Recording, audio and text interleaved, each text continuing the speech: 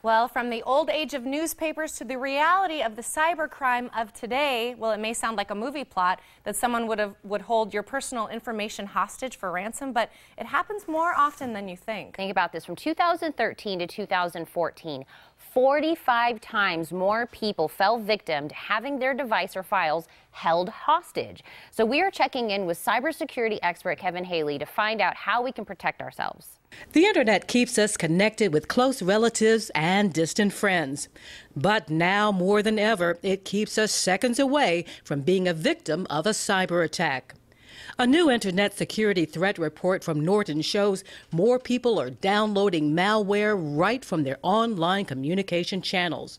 The company's director of security response, Kevin Haley, says these deceitful messages contain a new type of threat called ransomware. And what attackers are doing at twice the rate they were doing the year before is getting on people's machines, locking down their personal files, their documents, their photos, sometimes even their tax returns, encrypting it so that we don't get access to it. And then they're demanding $300, $400, even $500 to unlock those files files so that we can get our own files back. Haley says hackers are targeting anyone at any time just to get the big bucks.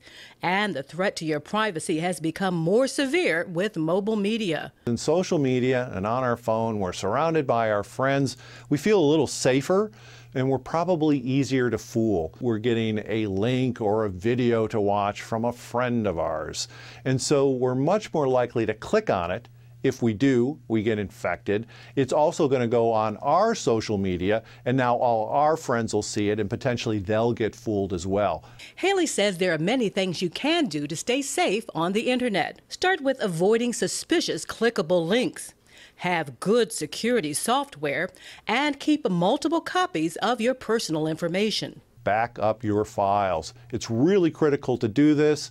That way, if somebody gets and holds your files hostage, you have a copy. So they have no leverage over you at all. You just restore that those files from your copy and you're good to go. For more information on staying safe on the internet, visit norton.com.